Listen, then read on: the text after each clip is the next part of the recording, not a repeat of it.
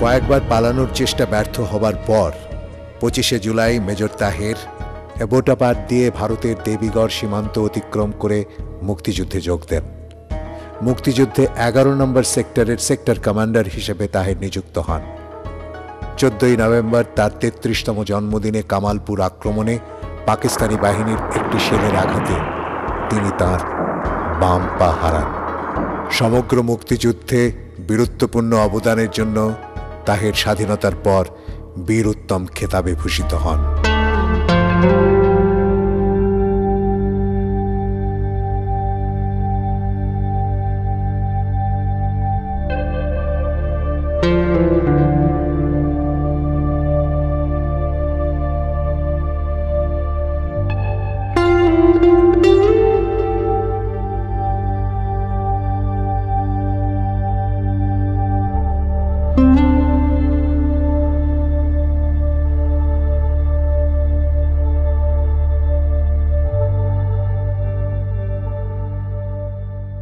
ক্যান্টনমেন্টের ভয়াবহ অবস্থা।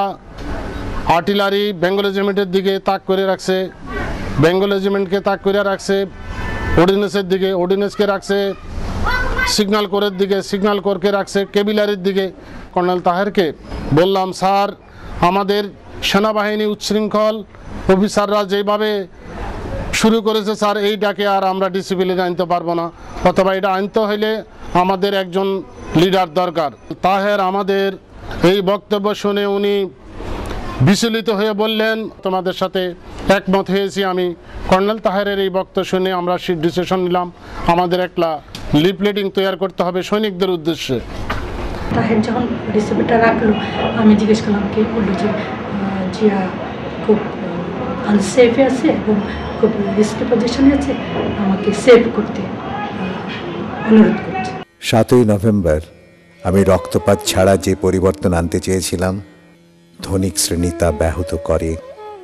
তাদের জন্য তারা এক বৃহৎ রক্তপাত ক্ষেত্র প্রস্তুত করল। সমাজতান্ত্রিক বিপ্লব সম্পন্ন হবেই। একে কেউ বাধা দিতে পারবে না। বেঈমান জিয়া আমাদেরকে জেলখানায় বিচার করতে বসে আরও আন্দোলনের ক্ষেত্র প্রস্তুত করল। লাভ জনগণেরই। চব্বিশ ঘণ্টার মধ্যেই জিয়া রহমান তার গায়ের রং পরিবর্তন করে ফেললেন। মাহবুবন চাষি, খন্দকার মোস্তাক এই গঙ্গদের সাথে গোপন বৈঠকে জিয়াউর রহমান, কর্নেল তাহেরকে হত্যা করার ষড়যন্ত্র শুরু করলেন। এই হচ্ছে ইতিহাস। কর্নেল তাহেরের ইতিহাস যদি আমরা দেখি, এগারো জন সেক্টর কমান্ডারের মধ্যে একমাত্র কমান্ডার, যিনি অঙ্গহানি ঘটেছে, পঙ্গু হয়েছিলেন। অদম্য একমাত্র কমান্ডার, যিনি এদেশের সাধারণ মানুষের মুক্তি চেয়েছিলেন। যিনি এদেশের সেনাবাহিনীকে ব্রিটিশ ব্রিটিশের শাসিত এবং ব্রিটিশের প্রকল্পিত সেনাবাহিনী হিসেবে নয়, একটি গণমুখী সেনাবাহিনী হিসেবে গড়তে চেয়েছিলেন এবং কর্নেল তাহেরের অপরাধ এটি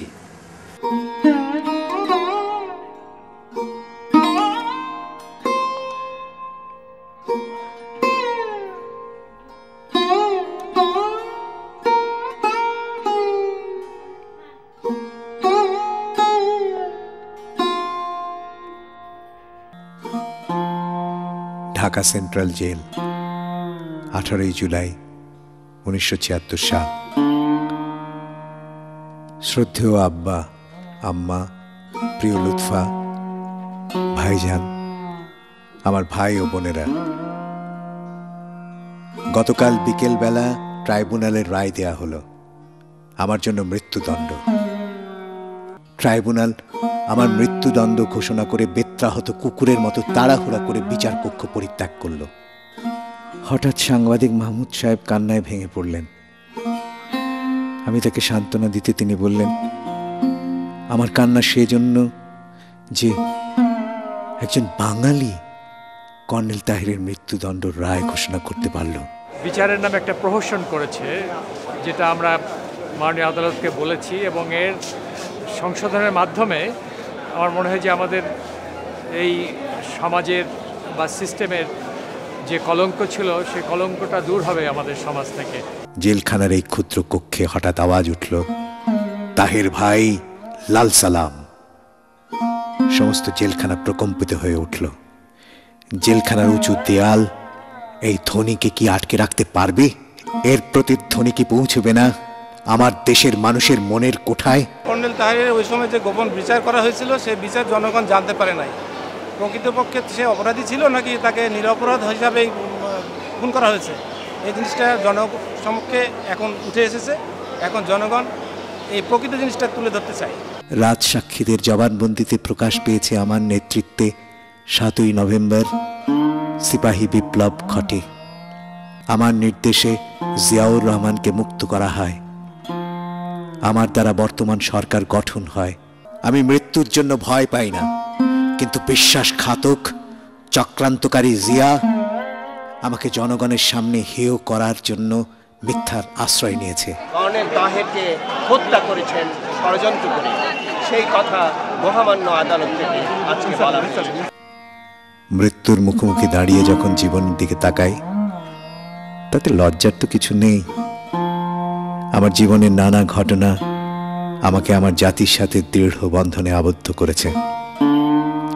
এর মতো বড় সুখ, বড় আনন্দ আর কি হতে পারে? নেতু, যিশু ও মিশুর কথা সবার কথা মনে পড়ে। তাদের জন্য অর্থ সম্পদ কিছুই আমি রেখে যাইনি। কিন্তু আমার সমগ্র জাতি রয়েছে তাদের জন্য। আমরা দেখেছি শত সহস্র উলঙ্গ, মায়া ভালোবাসা বঞ্চিত শিশু। তাদের জন্য একটি নিরাপদ আশ্রয় আমরা গড়তে চেয়েছি। বাঙালি জাতির জন্য উদ্ভাসিত সূর্যের আর কত দেরি? না, আর দেরি নেই। সূর্য উঠল বলে, এ দেশ সৃষ্টির জন্য আমি রক্ত দিয়েছি। সেই সূর্যের জন্য আমি প্রাণ দেব, যা আমার জাতিকে আলোকিত করবে, উজ্জীবিত করবে এর চাইতে বড় পুরস্কার আমার জন্য আর কি হতে পারে? পঁয়ত্রিশ বছরের আমাদের যে অপেক্ষা, এই অপেক্ষা শুধুমাত্র কর্নেল তাহেরের পরিবারের অপেক্ষা নয়। এই অপেক্ষা হচ্ছে বলতে গেলে বাংলাদেশের সেই সব মানুষদের যারা মুক্তিযুদ্ধে অংশগ্রহণ করেছে এবং যারা স্বপ্ন দেখেছে একটা সোনার বাংলার যারা স্বপ্ন দেখেছে একটা সুখী, সমৃদ্ধ একটা অসাম্প্রদায়িক, গণতান্ত্রিক, প্রগতিশীল, বৈষম্যহীন বাংলার যেটা ছিল কর্নেল তাহেরের স্বপ্ন, সেই স্বপ্নের অনুসারী মানুষ যারা অপেক্ষা করেছে এই দিনটির জন্যে, আমরা মনে করি আমাদের দীর্ঘ পঁয়ত্রিশ বছরের সেই অপেক্ষার পালা শেষ হয়েছে। কর্নেল তাহেরের সহধর্মিনী, যিনি এক- এখনও বেঁচে আছেন, শুধু সেই স্বপ্ন নিয়ে যে কর্নেল তাহেরের এই হত্যার বিচার কোনোদিন হবে, সেটা হয়েছে। Is a wake up call for Bangladesh to recognize that there's, there can be a return to the rule of law.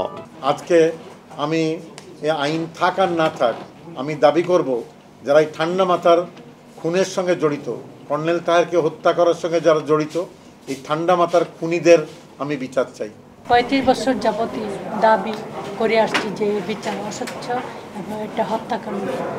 সেই আজকে পঁয়ত্রিশ বছর পরে আমরা আদালতে আসতে পেরেছি এবং আদালত মহামান্য আদালত একটা সুন্দর, সুষ্ঠু রায় দিয়েছেন। তাতে আমি অত্যন্ত খুশি যে কর্নেল তাহের জনগণের সামনে, কর্নেল তাহেরকে যে হেয় করার প্রতিপন্ন মানসিকতা ছিল, সেটা উন্মেচিত হয়েছে। জন্মেছি। সারা দেশটাকে কাঁপিয়ে তুলতে কাঁপিয়ে দিলাম। জন্মেছি তোদের শোষণের হাত দুটো ভাঙব বলে ভেঙে দিলাম। জন্মেছি মৃত্যুকে পরাজিত করব বলে করেই গেলাম। জন্ম আর মৃত্যুর দুটি বিশাল পাথর রেখে গেলাম। পাথরের নিচে শোষক আর শাসকের কবর দিলাম। পৃথিবী অবশেষে এবারের মতো বিদায় নিলাম। আজকে আমার এই মুহূর্তে কবি মোহাম্মদ নুরুল হুদার কয়েকটা লাইন খুব মনে পড়ছে। জীবন মৃত্যুর পথে এঁকেছ মোহ, পোস্টম্যান ফেরি করে এখন তোমাকে। তুমি আর ব্যক্তি নও, তুমি যে খবর। আমাদের প্রতিপক্ষ সে খবর রাখে? অলক্ষ্যে নিজের মৃত্যু যে পায়নি টের, সে জানে না বিপ্লবের পতাকা তাহে। আমাকে কেউ হত্যা করতে পারে না। আমি আমার সমগ্র জাতির মধ্যে প্রকাশিত। আমাকে হত্যা করতে হলে সমগ্র জাতিকে হত্যা করতে হবে। কোন শক্তি তা করতে পারে?